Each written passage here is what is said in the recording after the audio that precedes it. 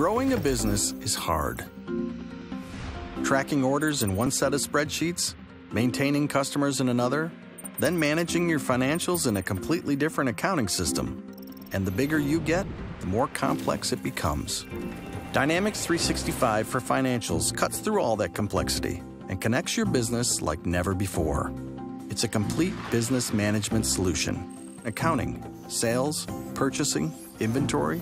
It's all here so you can see your entire business in one place. Looks like cash flow is on track for this month. That's what I like to see.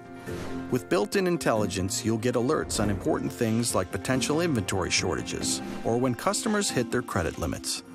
And it's easy to manage your business on the go, all from a tablet or phone.